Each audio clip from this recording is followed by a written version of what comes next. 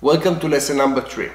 In this lesson, I am going to talk to you about the hierarchy of what is a lead, what is a contact, an account, deal, and activities. We started with the lead. The lead is really a place that you will have all your new prospects. People that come to the to your system and they want to get some kind of a service from you. They have the feeling that they want to work with you, but they still don't know much. From the other side, you don't know them. So the lead system will contain all the wannabes, all the people that want to be your clients, but they just don't know what it takes. Whenever the lead is mature, and usually mature means that you add at least one appointment with the lead or you qualified him that he has enough money he knows your timeline he knows your services and he wants to proceed. And proceed does not mean that he wants to buy the services from you. Proceed means that he wants to work with you and now you need to start work on the details create a proposal, get more details from him. So whenever he is mature, and again mature might be also a meeting, then we are clicking on the button on the top, the convert button, and we are converting this lead into an opportunity or a deal. In this case, I am going to convert the lead into an opportunity and the system will ask me few details. What is the amount of the deal? What is the stage? What is the closing date? As you can understand, if we just had our first meeting, I probably don't know how much money he is going to pay me, if he is going to pay me, or whenever this deal is going to get closed. Now, I'm getting this question all the time, which I get it. This is just an assumption because you need to have a placeholder in the system. So let's assume that this deal is going to give me a thousand dollars and I expect it to be closed in about two weeks. So I will click here on the second and I will click on the bottom on convert. Okay, so all those are just assumptions. The only thing here that is for sure, it will be the opportunity name that I need to know what is the opportunity name. Usually it will be the client first name or last name or maybe the company name. That's usually the case. And then I will click on convert.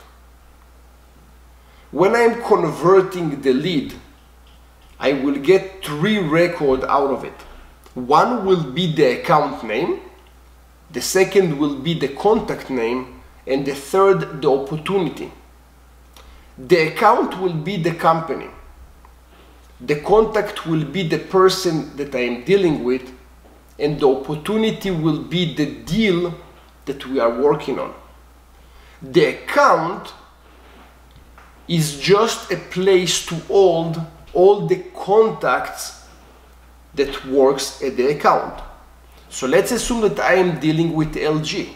LG will be the account. And inside of LG, I will have under the contacts, which is on the left side, I will have all the people that works at LG. Those will be the people that I am in contact with. If I am going back, I can click on the contact and the contact will be the person that works at LG and this is the person that I'm usually in contact with. The last thing that I want to show you will be the opportunity.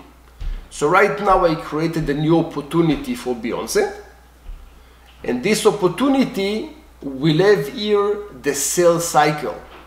In my case, the sales cycle starts with qualification, needs analysis, value proposition, and it goes all the way to close won or close lost. And that's the deal cycle. In your organization, you might have different stages. It doesn't matter which stages you have in your organization. The stages need to be followed, which means you cannot jump from qualific qualifications to close won. because for most organizations, each button that you're clicking will have some kind of functionality behind it. Sending an agreement, sending an approval letter, something will happen when you're clicking on those buttons. So you cannot just click around just to test how it works. This is serious. You need to, to understand that something happens when you're clicking on the different buttons. Next, I want to show you the activities. The activities are the things that you are going to do in your company based on the CRM. If I will click on the activities on the top, you can see that I have here three different activities. Task, event and call. The event, by the way, is going to be renamed to a meeting very soon. So you can expect not to see event, you can expect to see meeting. A task will be something that I need to do in a specific day, but not in a specific time. So it's something I supposed to do tomorrow. Paying bills, for example. Paying bills does not require me to do it at 5 p.m. I need to pay payroll tax tomorrow, but not in a specific time. If I will go to the event, the event will be a calendar record. So if I am going to create an event, it will be a meeting that has a start and end time and it will be on my calendar. So that's an important thing to understand. Whenever you create an event, it's on your calendar. And the last one will be a call. If your phone is not connected to the CRM, I would recommend you not to use calls at all. If your phone system is connected with the CRM, then you like to use the call. The call will have three different stages. It might be a call that you are currently having with someone, and the phone system will do it automatically for you. It will register the call in the system. It might be a scheduled call or a call that you already had in the past, which means a completed call. Again, if you are not using an integration with your phone system, do not use this feature because you will not gain anything out of it. Those were the activities in this lesson, we covered what is a lead, contact, deal, and the activities, and of course the accounts.